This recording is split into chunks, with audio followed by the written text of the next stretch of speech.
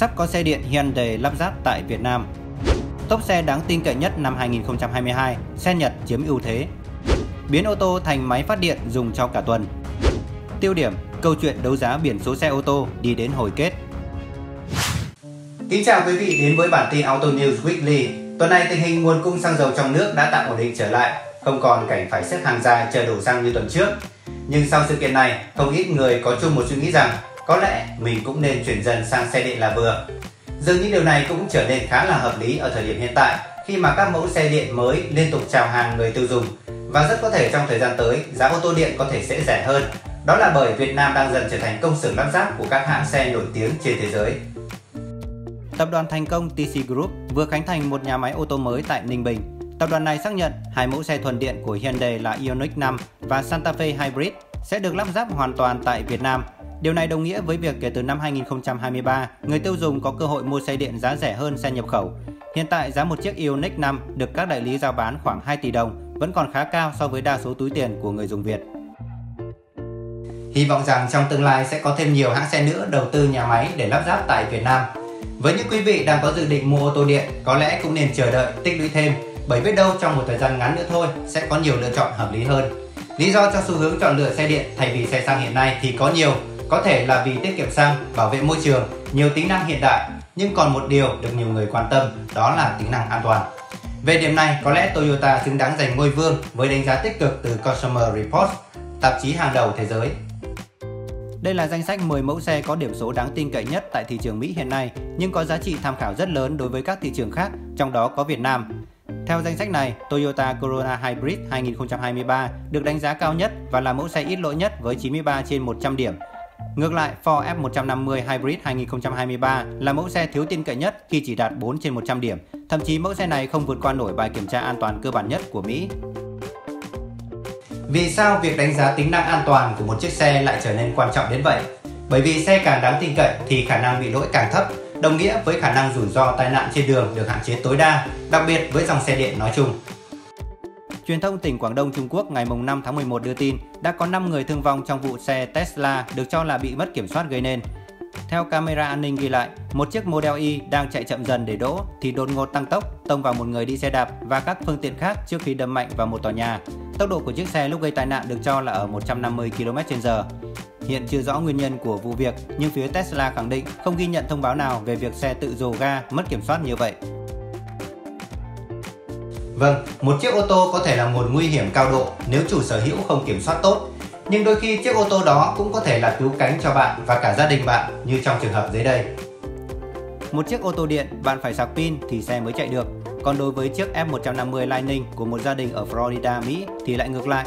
Trận bão Nico vừa qua, cả khu mất điện, còn gia đình người chủ chiếc xe này vẫn đèn đóm sáng choang. Thậm chí còn tốt bụng câu điện sang cho nhà hàng xóm cùng hưởng thụ Tất cả chỉ cần một chiếc xe bán tải điện như thế này kèm theo một vài phụ kiện dây dẫn. Trước đó, một số người dùng cũng đã từng áp dụng cách này đối với một số mẫu xe điện khác thành công.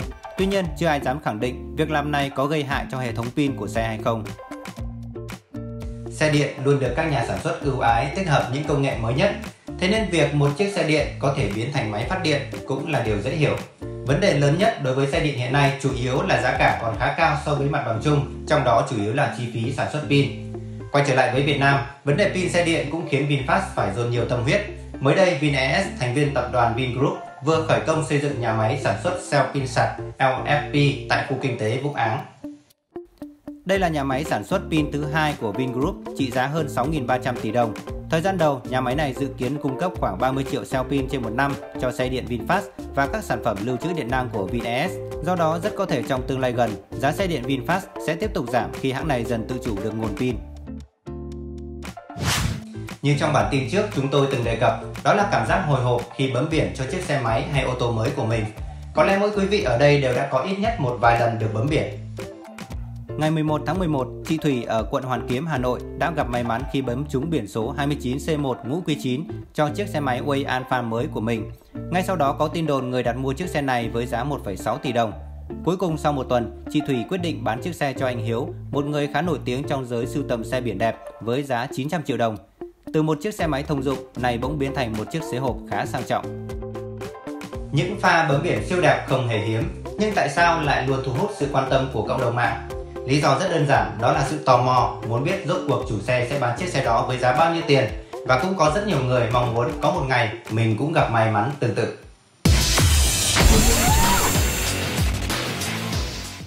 Vâng thưa quý vị, không phải ngẫu nhiên một chiếc xe biển số đẹp lại có ý nghĩa với nhiều người.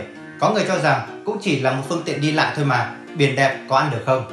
Tôi không phản biện điều đó, nhưng đối với nhiều người khác, đặc biệt là giới kinh doanh, một dãy số đẹp không chỉ mang ý nghĩa phong thủy mà còn có thể góp phần đem lại một bản hợp đồng làm ăn được ký kết. Đó cũng là lý do mà nhiều nước trên thế giới, trong đó có Việt Nam, đưa ra chính sách đấu giá biển số xe đẹp.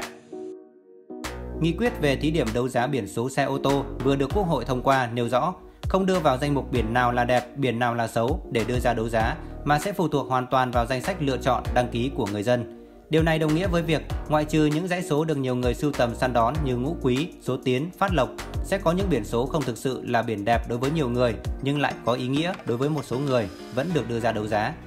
Những biển số không có ai đăng ký hoặc đấu giá không thành sẽ quay trở lại kho lưu trữ để cấp biển theo phương pháp bấm biển truyền thống.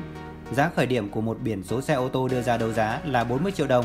Tiền đặt trước bằng giá khởi điểm của một biển số xe ô tô đưa ra đấu giá, bước giá là 5 triệu đồng. Như vậy, từ ngày 1 tháng 7 năm sau, người dân sẽ có cơ hội sở hữu biển số mong muốn bằng cách tham gia đấu giá công khai. Tuy nhiên, không ít người băn khoăn làm thế nào để đảm bảo cuộc đấu giá được công bằng, minh bạch nếu triển khai qua hình thức trực tuyến.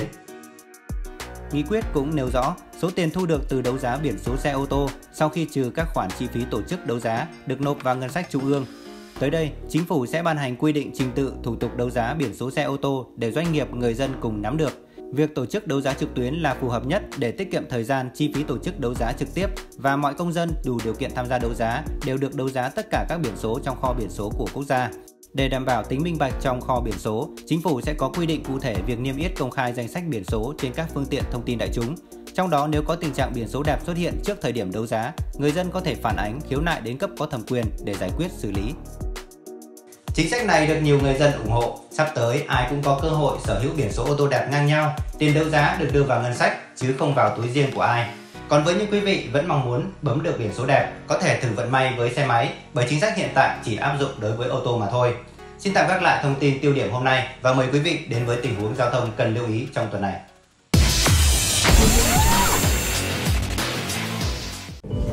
Một tình huống khá điển hình trên đường phố ở đô thị khi một số chủ xe lấn hẳn sang làn ngược chiều với hy vọng vượt đoạn xe phía trước mặt.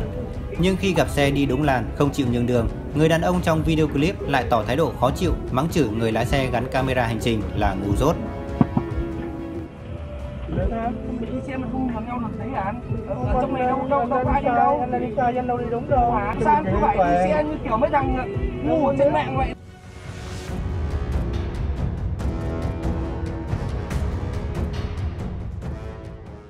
Theo quy định, hành vi nêu trên của người điều khiển chiếc xe màu trắng sẽ bị phạt tiền từ 3 đến 5 triệu đồng và bị tước quyền sử dụng giấy phép lái xe từ 1 đến 3 tháng. Và hy vọng rằng mấy ngày nay trang cá nhân của anh không sáng choang bởi bây giờ cư dân mạng truy tìm thông tin nhanh lắm đấy.